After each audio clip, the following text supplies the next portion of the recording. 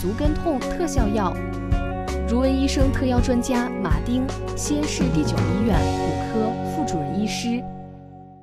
足跟痛我们也称为至筋膜炎，它在临床上的表现呢，主要是疼痛、肿胀，还有局部的骨赘增生。我们通过 X 线片就能看见局部的骨赘增生。我们通过磁共振的检查，我们就能看见足底筋膜的炎症以及水肿。我们在治疗上，首先第一点，我们要休息，以及穿软鞋。第二，可以口服一些非载体类的消炎药，比如说丰必得或者是塞来西布。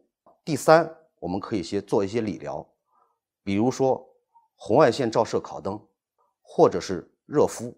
第三点，我们可以做一些适当的功能锻炼。